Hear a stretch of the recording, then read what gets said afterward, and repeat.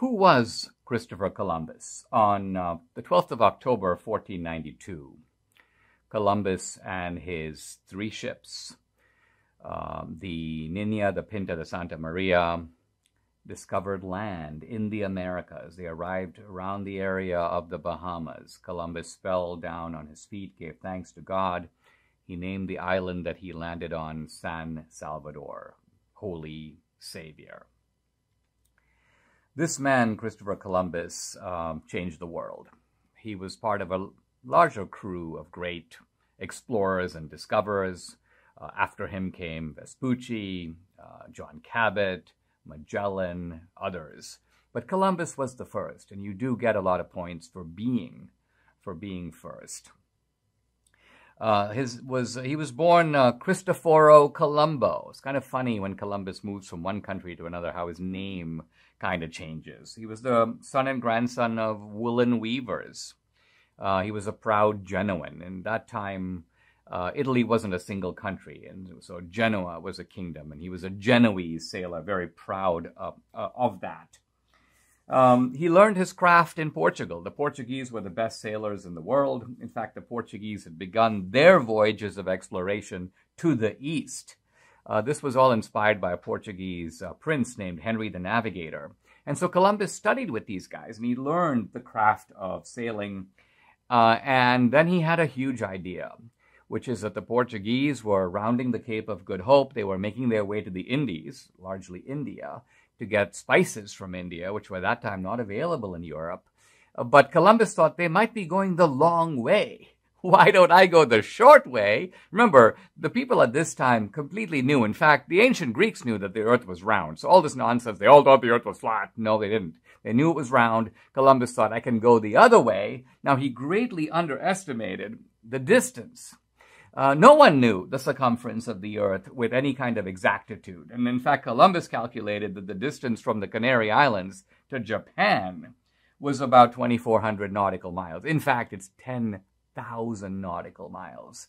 Uh, Columbus didn't know that. Columbus actually thought that the Earth was 60%, 65% land and 35% water. In fact, the Earth is the opposite. It's two thirds water, one third land. So this is really why, why Columbus had his fundamental calculation wrong, but you can't blame him. They didn't have any instruments. They had no way of knowing how wide and how big that ocean actually was. And Columbus was a real entrepreneur because he basically decided, and he, oh, a huge idea that uh, no one else had even really attempted.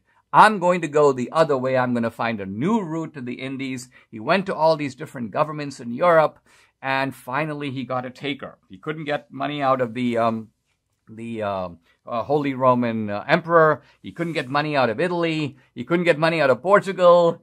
Finally, he got money out of Spain. Uh, and he got money out of Spain by driving a hard bargain because he was an imperious man.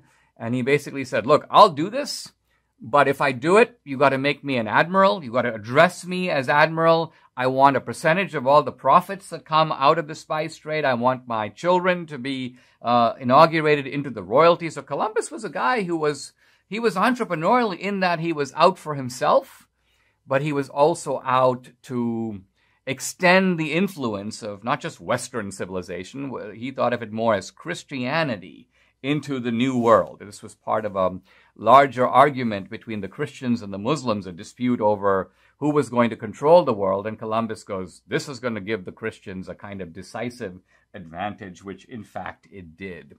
It's almost unimaginable the conditions that Columbus encountered. I mean, these were miserably small ships. Everybody was cramped together. The food was horrible, a little salted meat, uh, bread, and water, and even the water went bad. Um, no sleeping quarters. Columbus had a small bunk for himself. Everybody else sleeps in their normal clothes on the floor. Um, the, the voyage took 10 weeks. Huge swells, terrible seas, thunder and lightning, demands for him to turn back. You're never going to find land. Uh, some threats of a mutiny. The genius of Columbus that he is, is he had that indomitable will.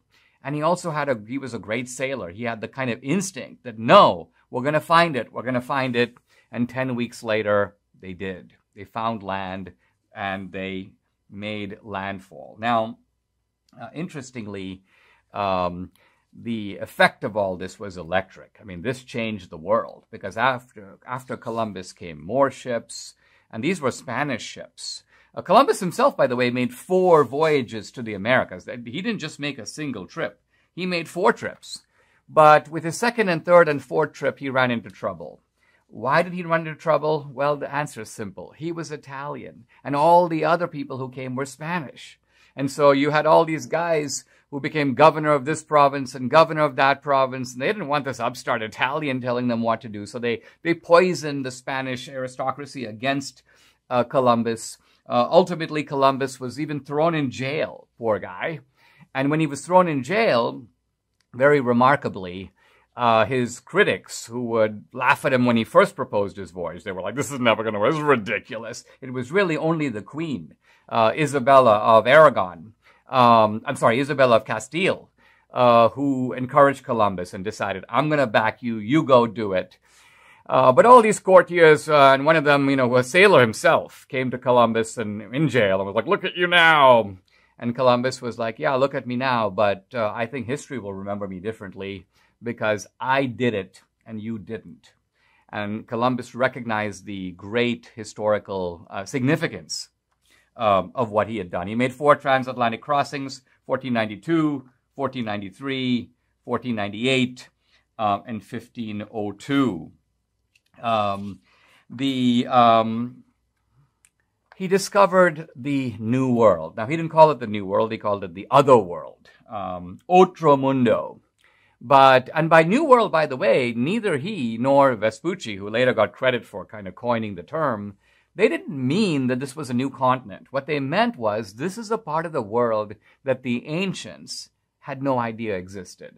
So it was new in that sense. It was new in that, uh, from the point of view of, of the West, there was no awareness that this part of the world even, even existed.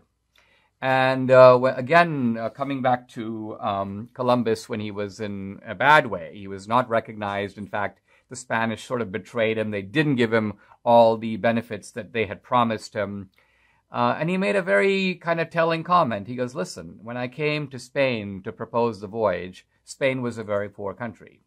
Now Spain is rich. And who made it so? I did. He did. And this was just the plain truth of the matter. So here's a man, a great man, a great mariner, a great adventurer, and someone who changed all our lives, your life and my life, in ways I'm going to spell out.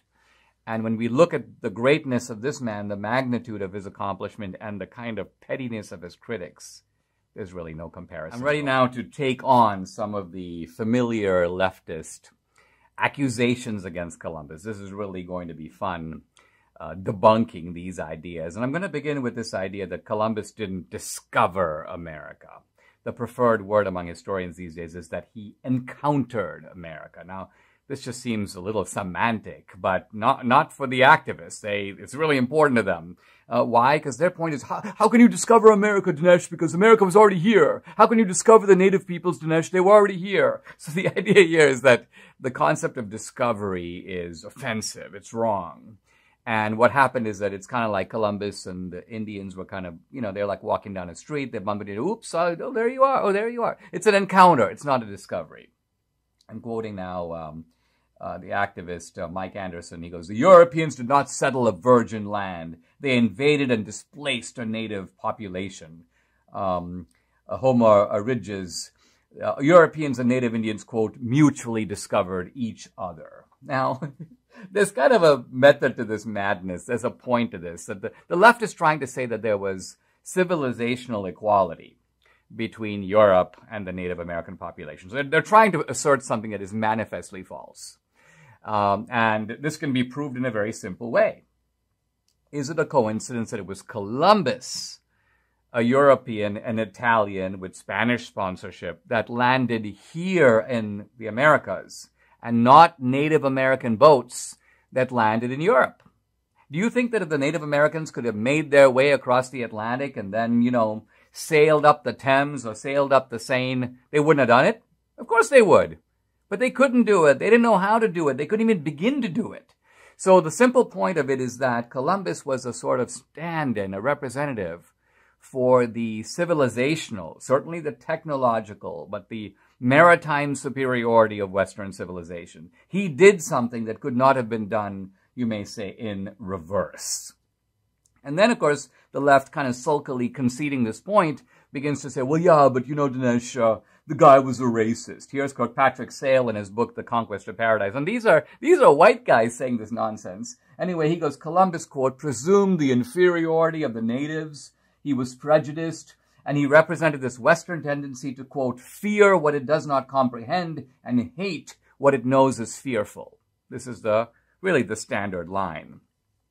And the question is, is it true? Was Columbus really prejudiced against the Indians? Well, it turns out that Columbus was prejudiced, but not against the Indians. He was prejudiced in their favor. His opinion, his original impression of these people was entirely positive. I'm actually going to just quote a few lines from Columbus's own journal so you can sort of see for yourself he's describing the Guarani people that he first encounters on the first voyage. Quote, they are artless. Artless, he means without guile. And so free with all they possess, and that no one would believe it without having seen it. Of anything they have, if you ask them for it, they will never say no. Rather, they invite the person to share it and show as much love as if they were giving their hearts. They are content with whatever thing or whatever kind may be given to them. They, be, they believe very firmly that I, with these ships and people, came from the sky. And this does not result from their being ignorant, for they are, have a very keen intelligence, um, and so on and so on. So Columbus here has a very positive view uh, of the Indians. He says they are they don't have religion, but don't accuse them of idolatry. They they will be very open to a Christian message if we offer it to them. He doesn't think there's no evidence Columbus was a racist or he thought these people were inferior. And by the way, he wasn't alone. Later people, uh, Pedro Alvarez Cabral, Amerigo Vespucci, Ferdinand, Ferdinand Magellan, uh, Walter Raleigh, all of them registered similar impressions of the Indians. So the question then becomes, why did these Western attitudes toward the Indians, which were so positive, change? Uh, and my answer is really simple.